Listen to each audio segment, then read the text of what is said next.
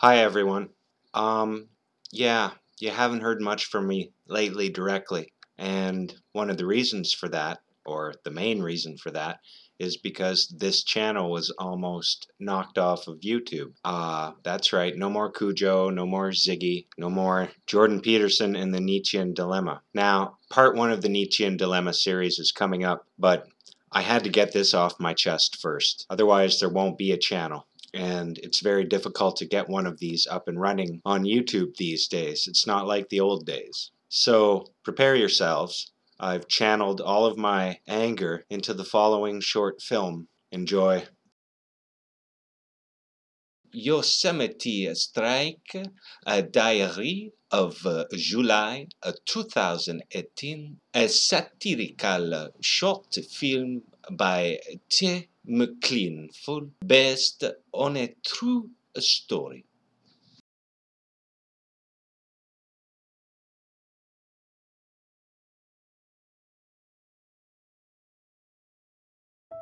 Well, Ziggy, I don't know about you, but I'm pretty happy about that scoop we got last night with Jordan Peterson and the Laurier lawsuit. I think it's the best news clip I've ever uploaded. It's doing really well. I, told you, man, it pays. It pays to stay up until 3:30 in the morning rooting through all this stuff. You never know what you're gonna find. you never know what kind of breaking news you'll come across. You know, it's what I've been saying. Uh, oh, just a second. There's an email. Oh. What? What the heck is this? Hi, team. Cleanful. We had to take your video down from copyrights. Oh, jeez, Ziggy. It's the Laurier video. It's the scoop. It's the scoop. They took it down with a copyright strike, the Aspen Institute. Oh man, I never heard of them before this interview, and it looks like they really are some beatnik community college. There's a million reasons not to do this, and only stupid reasons to do it. I'm not some clip cranking farm. I'm. This is newsworthy. It's covered by fi- All right, calm down, Team McLeanful. Calm down. Calm blue ocean. Burgundy chair. Brown table. Blue book. Black television. Calm down. All right, Ziggy, this is what we'll do. We'll create a video explaining what we're doing here. News events can be generated from podcast interviews. Yes, yes, they can. Just like news events can be generated from mainstream interviews. It's covered by fair use as long as you have a news angle and it covers all four points of fair use. We'll just explain who we are. Maybe what they need is an intro and an outro. This Aspen Institute sounds like some community college. We'll just do another video, we'll explain it. Everything will be fine a short time later. Hey everyone, Jordan Peterson did a talk at the Aspen Institute and he was asked about the lawsuit against Wilfrid Laurier University and he went into more detail. He sort of gave the justification and the argument behind why he's initiated the lawsuit and I was hit with a copyright strike by the Aspen Institute. So let's get this clear. I'm an independent journalist. I cover the intellectual dark web and specifically Jordan Peterson. And right now I'm specifically covering the developments of the Lindsay Shepherd affair. And there are a lot of comments coming in of people saying, you know, this is hypocritical. Do you agree with that? Or do you think that Jordan should take advantage of the law? So, Aspen Institute, I'm a journalist. This is a journalism channel. We cover the intellectual dark web, Jordan Peterson. We talk about the latest developments. We analyze what he might be doing. We analyze what his critics are saying.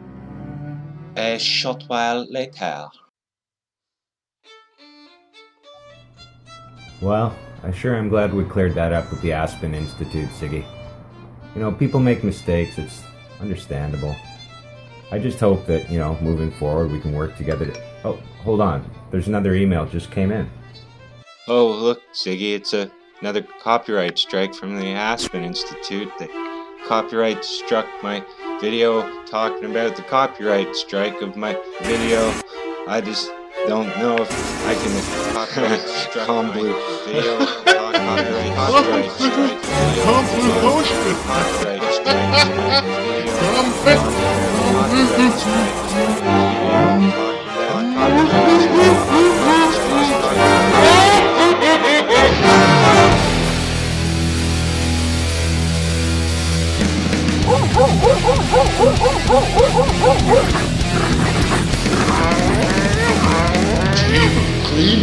angry.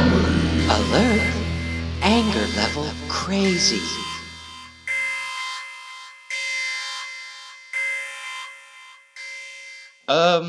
Uh, sometime later? Of all the things they teach these kids at these community colleges, Ziggy, why couldn't they at least teach them about the proper interpretation and application of fair use as it relates to copyright infringement when you're doing news reporting? Gah! You know, Ziggy, people often quote four points that have to be considered for fair use when using unlicensed copyright material. But when you're doing news reporting, you really only have to worry about two things. One, did you transform the copyrighted material by using it for a different purpose other than that of the original? It's an isolated video clip that is news. That's what makes it a news clip. You understand me? No one else has carved it out to report it, not even the Aspen Institute. I am the first to report it, as I have so often been in the past, and that makes it a scoop. The Aspen Institute didn't report it, unless you want to say that they're trying out some new form of news reporting, where you bury an important story in a 90 minute interview and then invite people to sift through it and see if they can find the news story.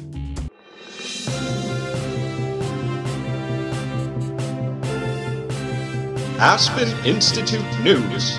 Always vague and confusing.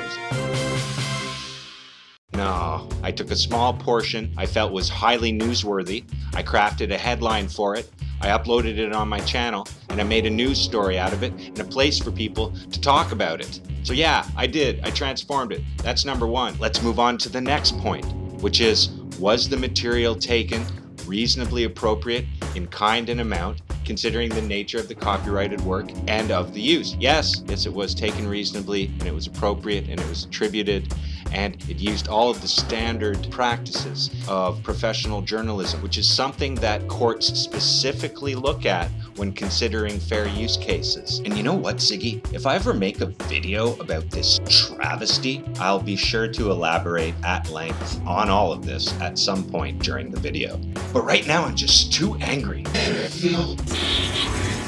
To be a journalist, you don't need a degree like me. You don't have to have worked in the field. If you follow the proper practices, then you don't have to worry about getting struck by anyone other than someone who doesn't understand what they're doing, like Yosemite Strike over at the Aspen Institute, which is apparently who they've hired to do their social media. These were manual strikes, they weren't automated. Yosemite Strike seems to think that the YouTube copyright notification system is their own personal master eraser button for YouTube. A beautiful shiny button! Now, some people say, well, what about the market value? You know, like you're taking away market value from them, you're taking views away from them. Oh, oh, oh, no, no, no, no, no. Let's let's go over the numbers, shall we? Remember, Ziggy, when I found the interview between Bari Weiss and Jordan Peterson on the Aspen Institute channel?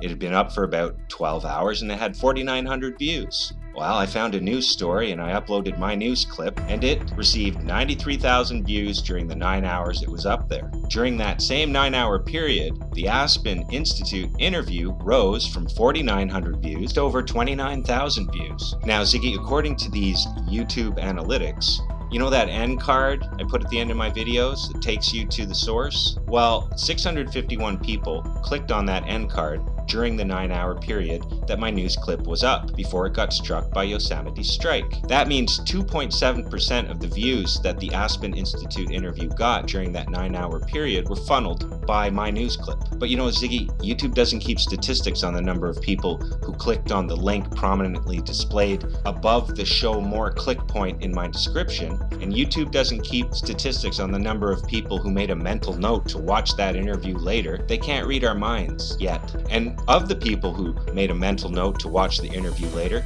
I don't know how many of those people are represented in the 25,000 views that the Aspen Institute got in the nine hour period that my clip was up. But you know what? I have a pretty good idea that the number of views I fed to their channel was high. Ziggy, I want you to come with me on a journey into the Aspen Institute's video and playlist feeds so that we can develop a better understanding of just how much market value I didn't steal from them.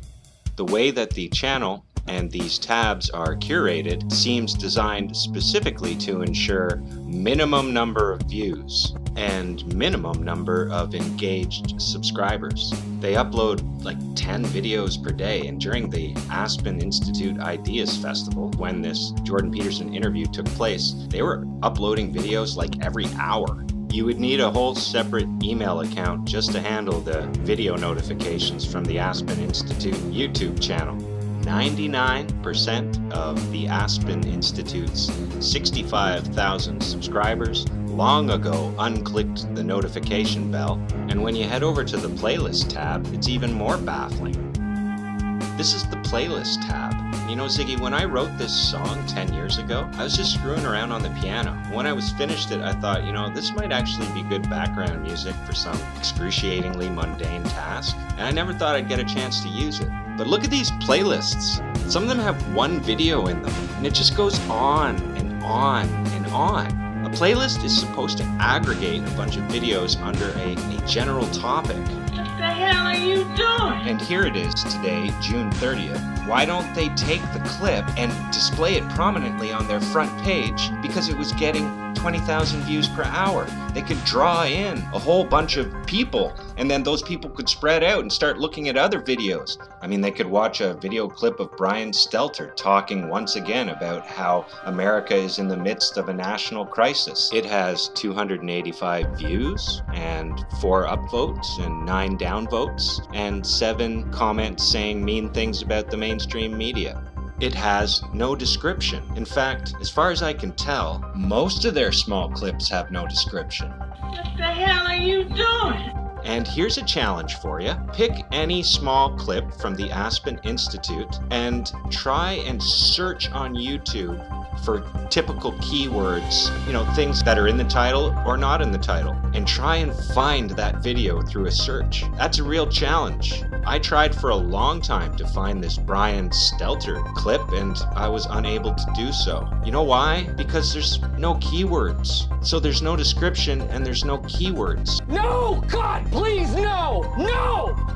No! Who are these two men? Why should I care what they have to say about the question posed in the title? If I wanted to find things that these two men had said to each other, and I wanted to search for the topic or for them or for anything, I wouldn't find this video. It would never pop up. It's just my opinion, but I detect a strong lack of focus here. And I don't know, I'm trying to find the word. There's something lacking here. There's something lacking. It's a word for it. Heard it before. Consci- conscientiousness. That's what's lacking. There's like none on display here. Whoever is managing the curation of this channel seems to focus most of their energy on vanquishing their perceived enemies instead of on making their YouTube channel a place where their subscribers and the wider world audience would want to come and expose themselves to the kaleidoscope of progressive ideas this community college produces. But no, no, we're not interested in that. I mean, I made a video where I explained that I was a journalist. I presented the clip again, and they struck that video. There's a, a kind of obliviousness on display here, a kind of lack of awareness, and a kind of insular, introverted approach uh, and percept. What's the word I'm looking? There's a word for that. It's like they're living in a living in um uh, like an enclosed uh, a bubble. It's like they're operating from within a bubble and all they care about is is protecting their bubble. Oh no! Oh no! They're trying to penetrate our bubble! Oh, they're assaulting our bubble!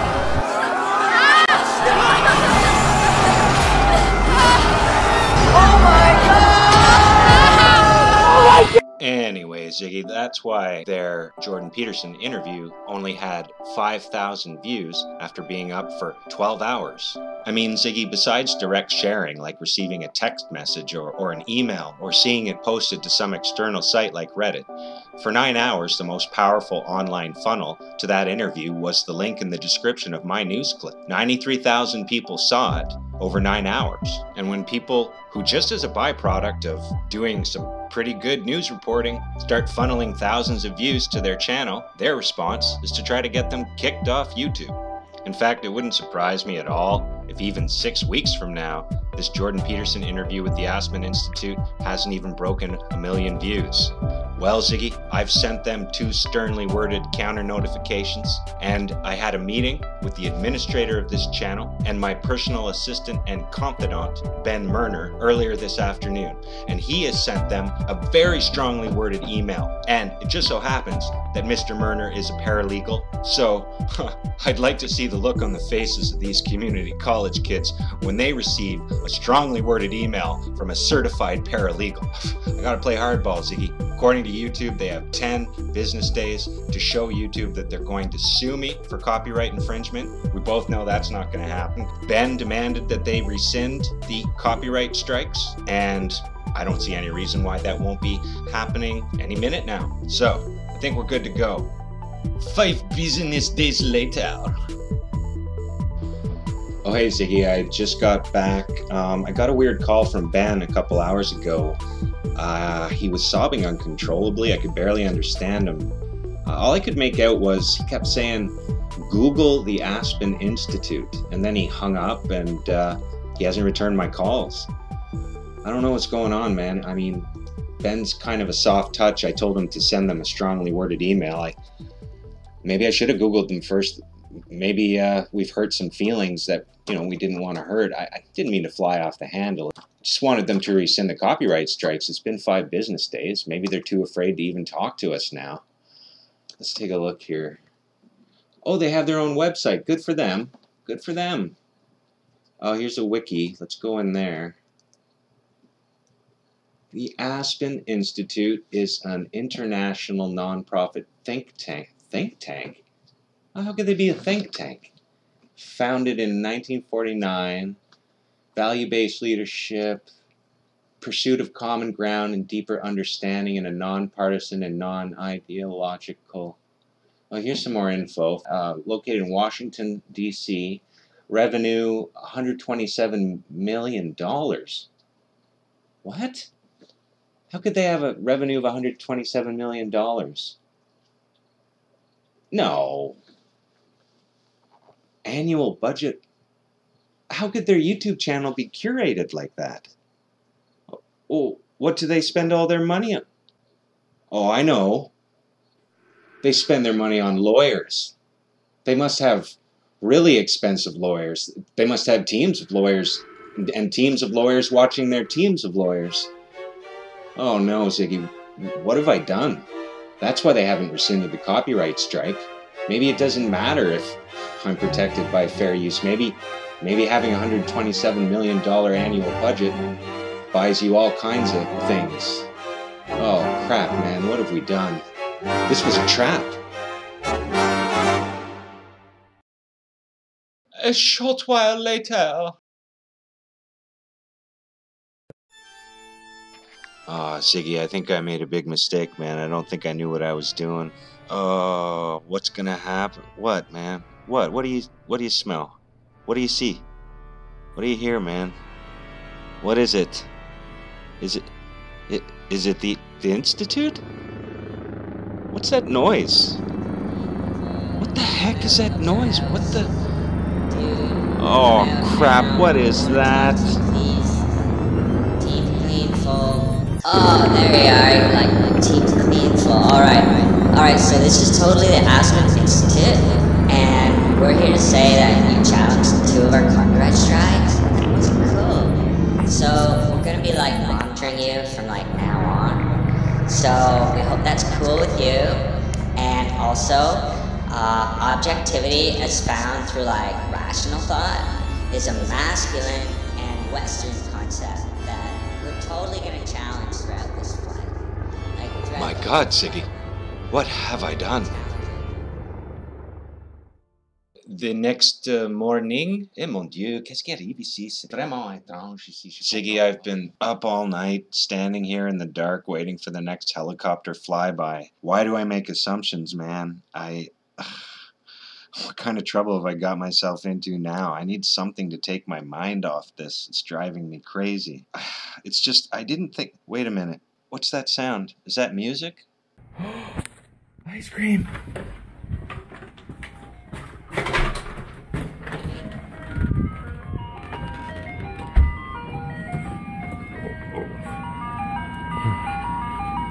Oh, yeah, this is exactly what I needed.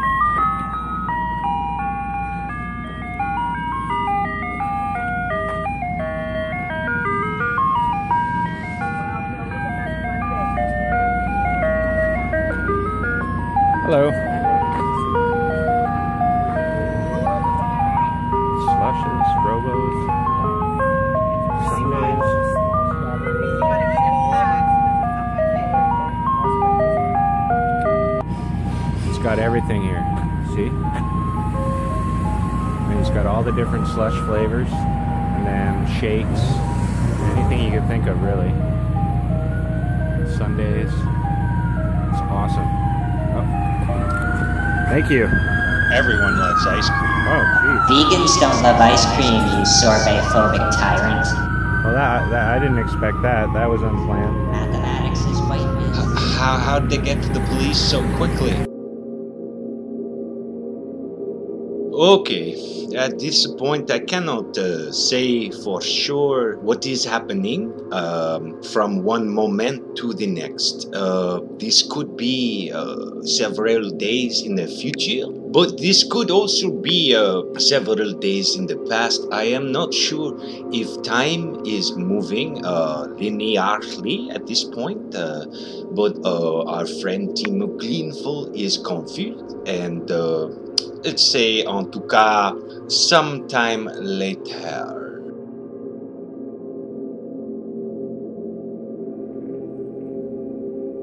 Russia, Vladimir Putin, Russia, Russia, Russia, Russia hates Russia, Russia, Russia, Russia's Russia, Russia, Russia, Russia, Russia, Russia, Russia. Look back on the Trump presidency.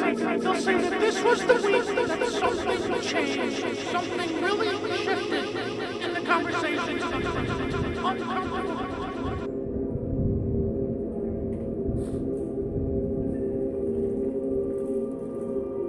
Very important message tonight. Please stop smashing your Keurig coffee machine.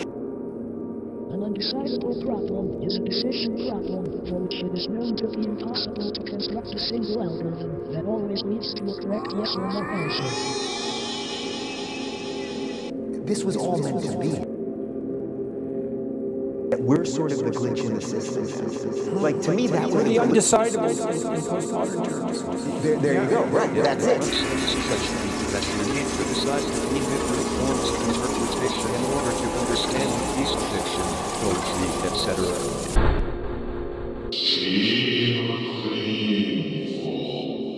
What are you?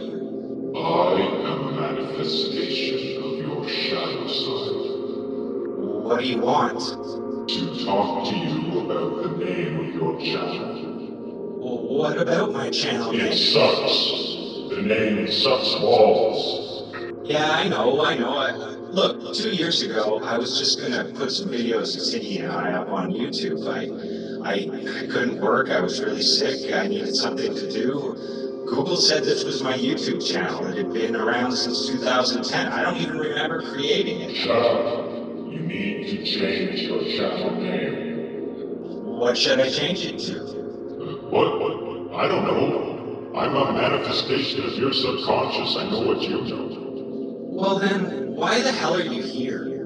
Uh, to tell you that you're dreaming, and it's time to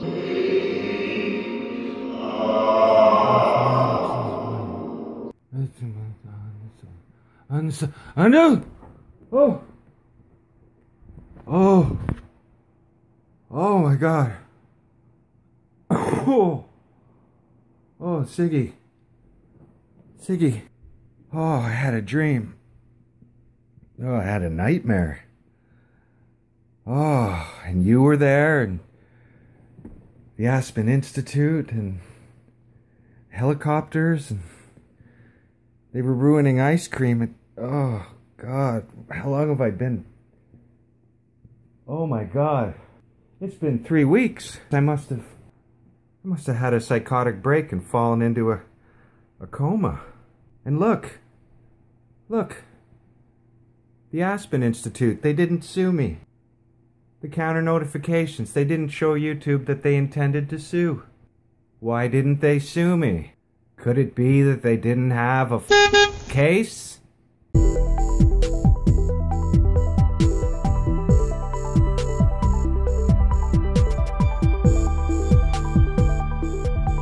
Okay, now it's time for a serious talk. I, uh, oh, Francois.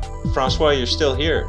Mais oui, I've been here for three weeks. Uh, I've been helping you. I've been changing your diapers uh, while watching you babble, you know, crazy things uh, for many days. Uh, just waiting for you to wake up so you can give me the money you promised. Oh, Francois. Jeez, man.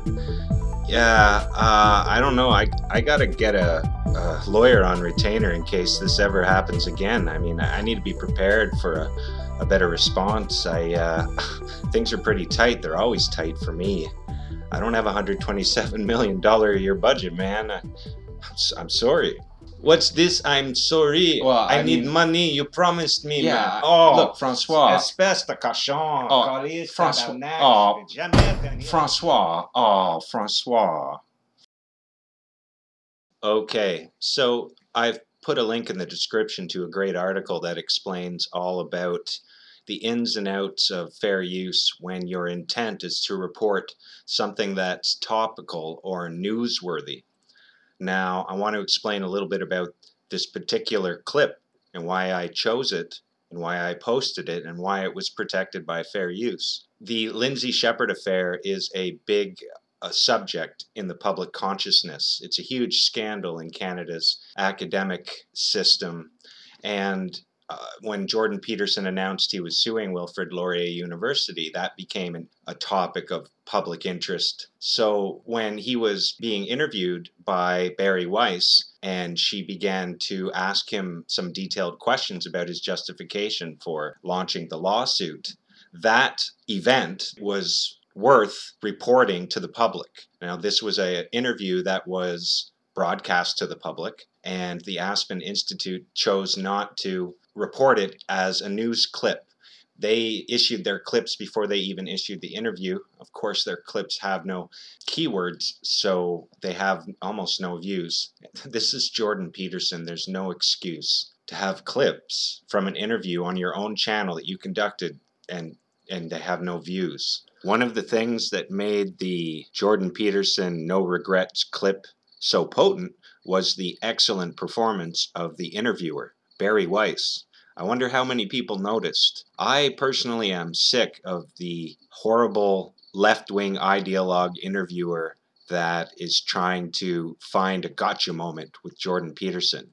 And that's not what you're witnessing in that clip.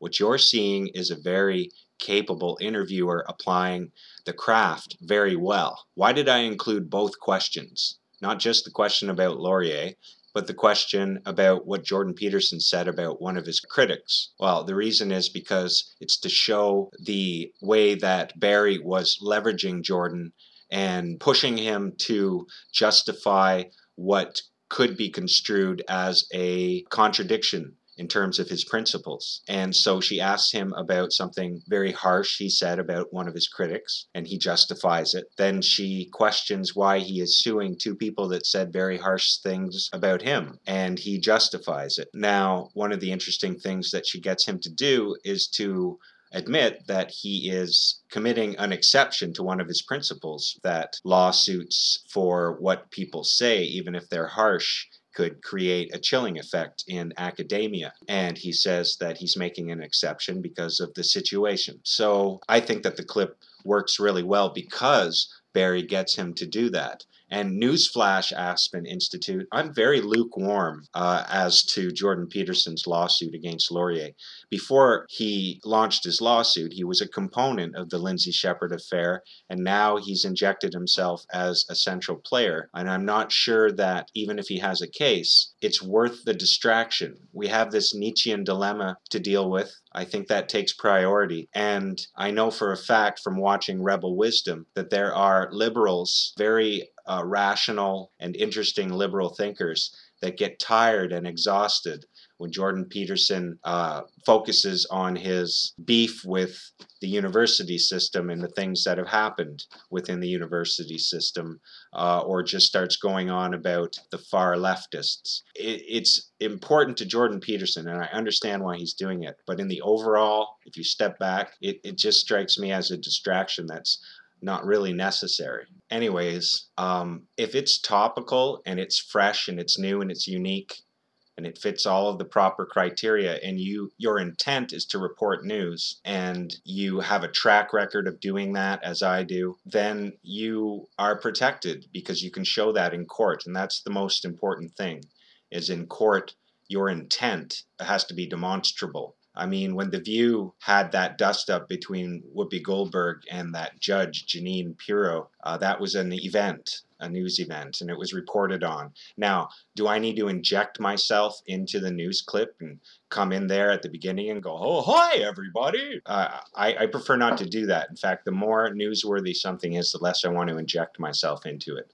What I prefer to do is present it, then I like to aggressively curate the comment section and participate in the discussions, facilitate them. I'll let a few troublemakers through, of course, because I believe that all of the perspectives need to be aired out in the open so that they can be responded to. And uh, I just won't let troublemakers and trolls dominate and cancel out uh, fruitful discussions. So I, I see that as my job. And I find if you do that, you have people engage in some really interesting discussions. A lot of people participate. You can participate as well.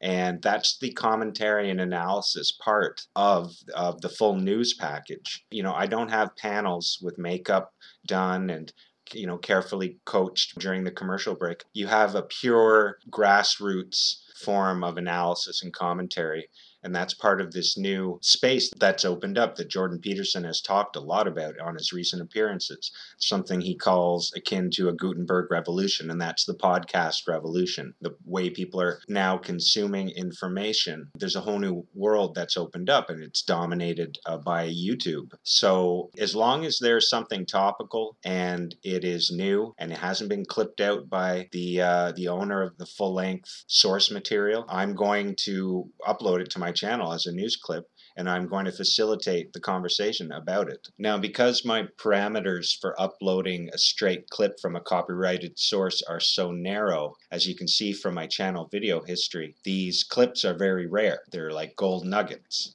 and I find them once in a while. And when I upload them, it's to clarify the record or to report something that's not being reported. And as you can see from my channel history, because they're newsworthy and because they're topical, they do well you can do this both casually and properly and you'll end up with quality over quantity. I'll have more to say about this. I'm going to follow this up with another video where I go over a lot of the background of what's been going on. A lot of channels have been knocked off YouTube in the last month. Some of them were doing the clipping stuff right some of them were doing it really wrong, but a whole bunch of people got uh, canceled out. And so I'll be giving some information, some sort of uh, backstage information about how I approach my channel. I'm not a full time YouTuber, but I try to get to it as often as I can.